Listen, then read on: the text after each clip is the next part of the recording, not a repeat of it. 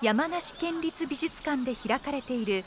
山梨アートプロジェクト2021現代美術のアーティストの視点が紡いだ新たな山梨が展示されています。山梨の歴史文化自然をテーマにしてまして作家さん方から作品のプランを募集しまして選ばれた作家さんに3つの展示エリアで作品を発表していただく内容になっています。市川三郷町。こここですね。プロジェクトの参加アーティストで現在は日本と台湾で制作活動をしている宇田直さん。旧市川大門町の出身で去年96歳で亡くなった祖父の足跡をたどり土地の記憶について考える映像作品を展示します。これがあの祖父がもうずっと持ってたアルバムなんですけど祖父がこう昔から私に昔話をするたびにこう引っ張り出してきては あのいろいろ物語を教えてくれて。宇田さんの祖父淡路誠さんは1924年大正13年の生まれ。一家の次男で15歳の頃デッチ暴行のため上京。戦時中は二十歳で召集され中国大陸へと出兵しました。そして戦後は横浜で就職して一家を築きます。人生の大半を故郷から離れて過ごしました。やっぱりなんか市川大門はすごい大事なところだったみたいであの住んだ期間はそんなに長くなくって多分生まれてから15歳ぐらいまでと戦争から戻ってきて二十歳から多分223ぐらいまでしか住んでないと思うんですけどなんかあのそれでもこう亡くなる本当に直前まであの在宅ケアに来てくださった看護師さんにもなんか私の故郷は市川大門なんですって言ったりするぐらいの場所だったのでやっぱり大事に思ってる場所だったんだろうなっていうのはすごく思いましたね。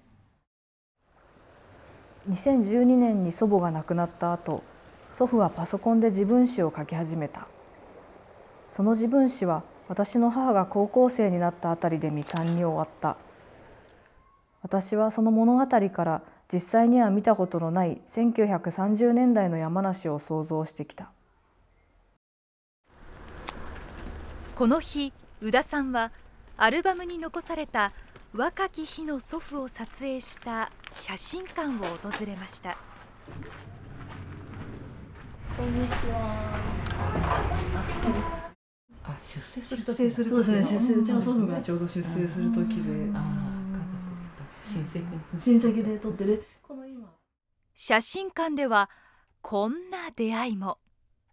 スタジオで撮る時はこれだと思います、うん、誠さんとその家族を撮影したという当時のカメラが残されていました。タイムトラベルする機械みたいなタイムマシンみたいですね。そうですよね。もう何人撮ったんでしょうね。すごい遠圧でしかもそのお家でやっぱみんなこう大事にされて。しかもなんかもうその戦争の時とかってそれ一枚しかもうその人を覚えておく方法がないっていう。やっぱりそれすごいことですよね。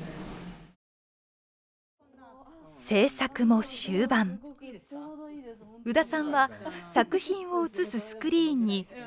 祖父の故郷市川三郷町の手すき和紙を選びました。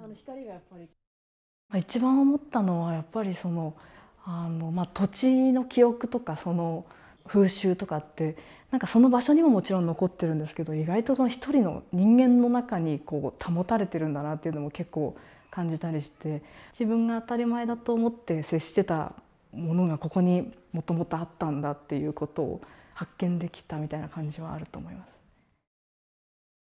そして完成した作品「不在の中の在」そこには祖父のルーツをたどり山梨で出会った人たちから聞いた土地の記憶を組み合わせた新たな物語が映し出されています。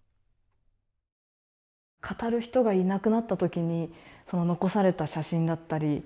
他のまあものでもそうかもしれないですけどなんかそれがその次の世代とかの人たちが見た時にどう感じていくのかっていうのは多分この今の時代の人と未来人とのなんか対話みたいな感じにもなると思うので。この時代にこういう人が生きていてで多分その別の方見た方のその家族にもそういう時代を生きた方がいらっしゃって今に続いているっていうことがあると思うのでタイムトラベルのこうなんか切符じゃないですけど